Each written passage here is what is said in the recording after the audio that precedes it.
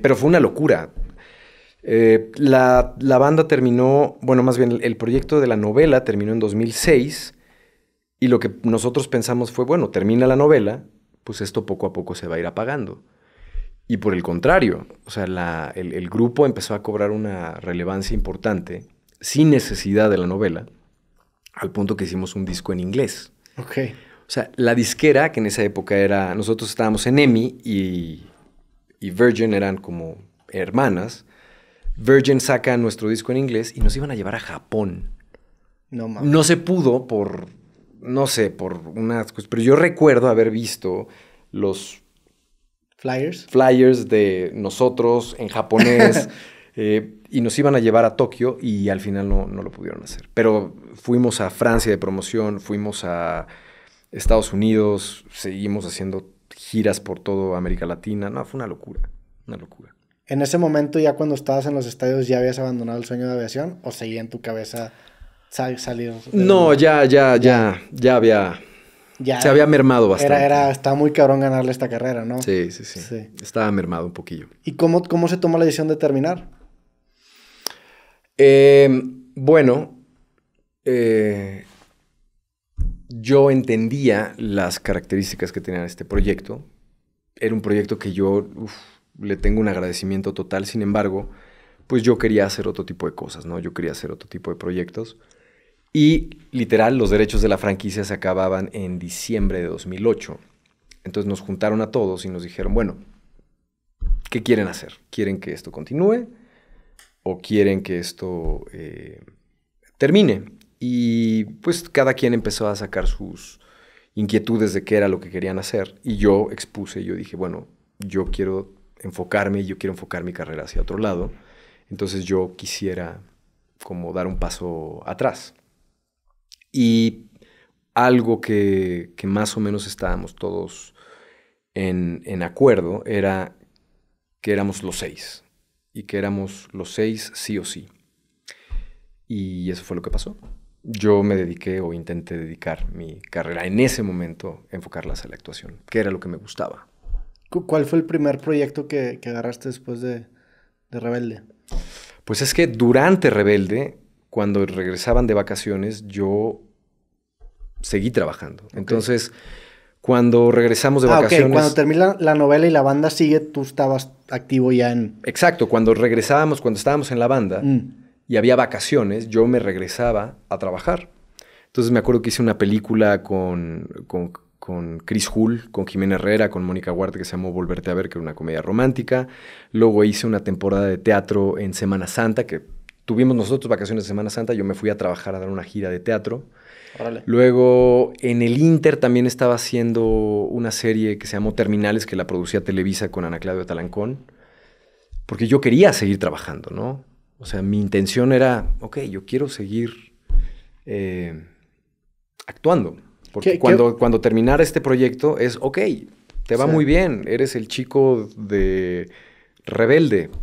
Y entonces yo quería mostrar credenciales y decir, ok, yo quiero seguir trabajando, yo quiero trabajar. ¿Y te, te costó un poco despegarte de esa imagen? Porque era un personaje tan grande, era un proyecto tan grande que me imagino que se, se te asociaba al principio pues sí, sí, era, era complejo porque muchas personas me tenían catalogado de una forma muy específica, pero yo sabía que lo único que requería era trabajo duro. Claro. Y ser constante, ¿no? Creo que hay, lo que yo creo es que hay dos puertas que, que son irresistibles, es el respeto y el trabajo duro. Y eso te abre todo. Claro. ¿Hubo, hubo un punto de inflexión en donde encontraste en la actuación una, una, vocación real, porque una cosa es que te guste, pero ya una de, oye, quiero enfocarme en ciertos proyectos, quiero empezar a hacer cierta carrera, o sea, reflejar ciertos valores con los proyectos en los que me involucro.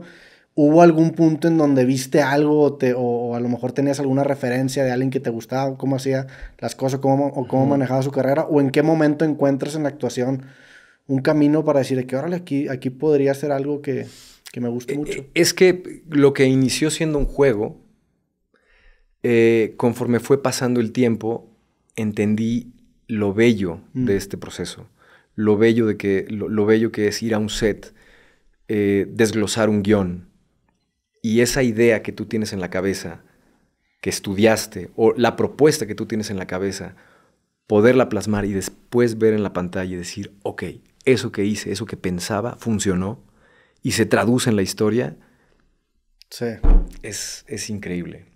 Es, es- no, no, no, no tiene... Bueno, es, es lo que me conmueve, es lo que me sigue, es lo que me mantiene todavía. Sí, el, el- el goce de la carrera creativa de ver tu trabajo plasmado en algo es un privilegio. Sí. O sea, hay muchos trabajos en donde no hay un resultado claro de qué es lo que estás haciendo. Sí, y, y entender que lo que tú estás haciendo es una pieza nada más. Sí.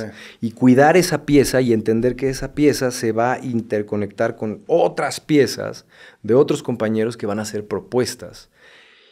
Y de repente cuando empiezas a ver cómo la máquina empieza a andar en set primero Sí. y después cómo eso se traduce a la pantalla es, es increíble. ¿Siempre te gustó esta parte de trabajo en equipo? Sé que te preguntaron en, Rebelde en alguna entrevista qué rol fungías tú y hablabas mucho como de que eras como el conciliador. El mediador, porque Ajá, el cada rato se peleaban todos, incluyéndome, ¿eh? incluyéndome, yo incluido. Sí, claro, es imposible. Digo, cuatro- ya, ya que me estás hablando que dormían en literas y que estaban siete días a la semana juntos, pues está cabrón que no, ¿va? cuatro años juntos todo el tiempo, éramos, era- éramos literal una familia. Y algo, y una de las razones por las cuales funcionó bastante bien el proyecto era porque nos llevábamos bien. Nos llevábamos muy bien y sabíamos conciliar. Y, y eso fue algo que, que hizo que ese proyecto caminara. Hasta la fecha se ven, o sea, de repente estén en un grupo de WhatsApp o algo así. Tuvimos un grupo de WhatsApp. porque yo recuerdo que hicieron, es que no sabes cuántas veces eh, nos han querido juntar. Y, Sí, me imagino. Sí, sí, sí. Y yo alguna vez en diciembre de 2019 yo dije, tengo ganas de verlos, ¿no? Tengo ganas de, que convivamos todos juntos y que no nos quieran juntar para hacer una gira, para hacer un disco. O sea, vivimos un chingo de cosas. O sea, le dimos la vuelta al mundo.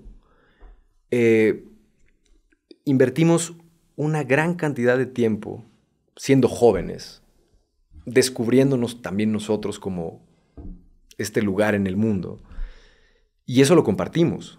Entonces me, me surgió como una cosa de, güey, quiero verlos, quiero reírme de, de lo que vivimos en las giras, sin necesidad de hacer que nos quieren vender un disco, una gira, eso ya. O sea, hacer un reencuentro Claro. real de seis amigos que se ven, que hablan, y eso pasó. Nos vimos para Navidad. O sea, se armó un grupo de WhatsApp con la finalidad de una reunión. De reunirnos y de hablar como amigos y de abrir una botella de vino y, y, y hablar a calzón quitado de todas las anécdotas y de todos los recuerdos.